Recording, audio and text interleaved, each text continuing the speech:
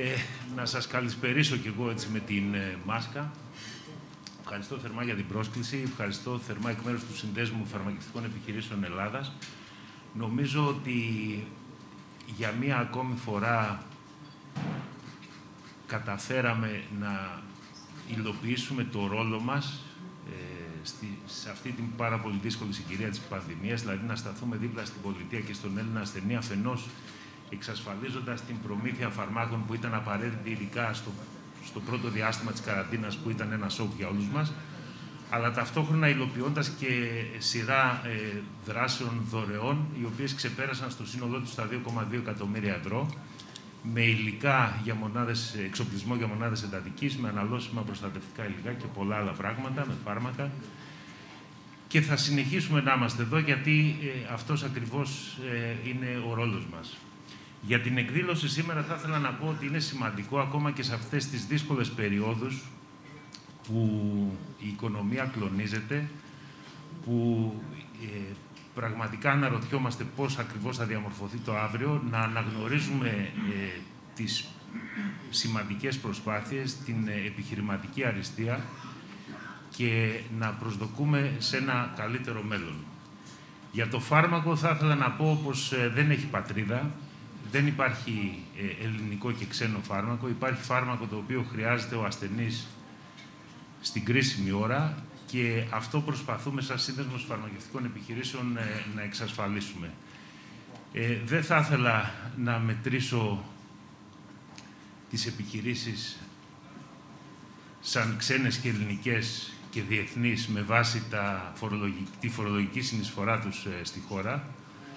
Ε, νομίζω πως ε, είναι μια, θέλετε, ένα μπράντε αριθμό το οποίο δεν θα μας οδηγήσει πουθενά και δεν είμαι σίγουρος και ποιος υπερτερεί.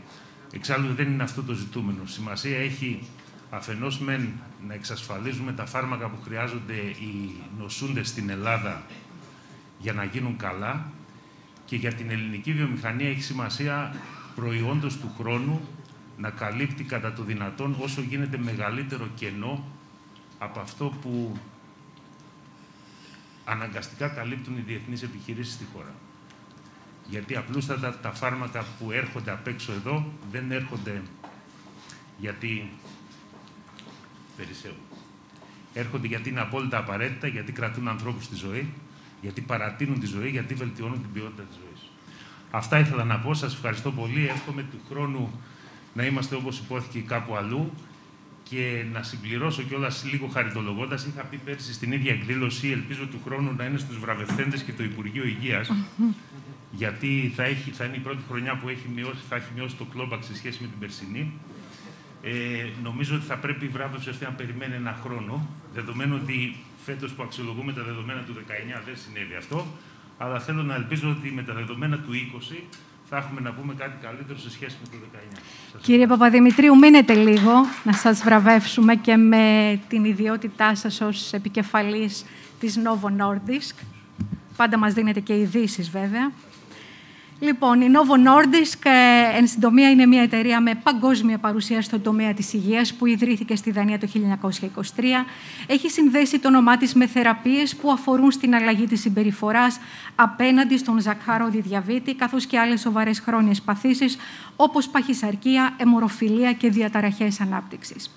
Στις 21 Σεπτεμβρίου, η εταιρεία ανακοίνωσε ένα φιλόδοξο στόχο για να εξασφαλίσει ότι όλοι οι άμεσοι προμηθευτές της θα προμηθεύουν την εταιρεία εφ' εξής με βάση 100% ανανεώσιμες πηγές ενέργειας έως το 2030.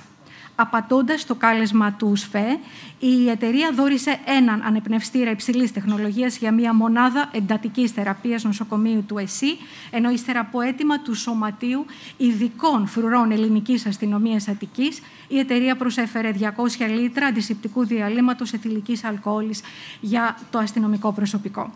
Επίσης, στήριξε με 4.000 χειρουργικές μάσκες στο πυροσβεστικό σώμα και 14.000 χειρουργικές μάσκες στην ελληνική αστυνομία. Είναι αξιοσημείωτο ότι στις 16 Απριλίου του 2020, δηλαδή μεσούσεις της, του πρώτου κύματος της πανδημίας, η Novo Nordisk σε κεντρικό επίπεδο ένωσε τις δυνάμεις της με τη Διεθνή Επιτροπή Ερυθρού Σταυρού και το Δανέζικο Ερυθρό Σταυρό, καθώς ανακοίνωσαν έκτακτη δωρεά ινσουλίνης σε ανθρωπιστικές οργανώσεις σε όλο τον κόσμο. Για όλους αυτούς τους λόγους, σήμερα βραβεύουμε την Novo Nordisk και το βραβείο στον κύριο Ολύμπιο Παπαδημητρίου.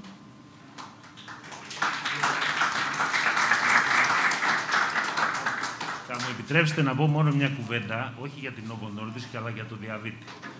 Ο διαβήτης είναι, ε, αν θέλετε, η πανδημία, αν δεν υπήρχε η πανδημία. Είναι μια νόσος η οποία πλέον απασχολεί πάνω από 1,1 εκατομμύρια Έλληνες και δυστυχώς τα σημάδια δείχνουν ότι θα συνεχίσει να αυξάνεται σαν νόσος. Είναι δε ε, απόλυτα επίκαιρο το γεγονός ότι βλέποντας ποιοι κινδυνεύουν περισσότερο από τον κορονοϊό, θα δείτε τους ανθρώπους με διαβήτη να είναι σε, στην ομάδα υψηλού κινδύνου.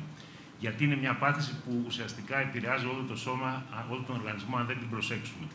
Επομένως, λοιπόν, ε, αν είναι να κρατήσετε κάτι από όλο αυτό, κρατήστε ότι ο διαβήτης είναι μια πανδημία που θα υπάρχει ακόμη και αν φύγει αυτή η πανδημία και πρέπει να δούμε τι μπορούμε να κάνουμε για να τον αντιμετωπίσουμε, γιατί πραγματικά αντιμετωπίζεται και όχι με φάρμακα. Πριν τα φάρμακα υπάρχουν και άλλα πράγματα.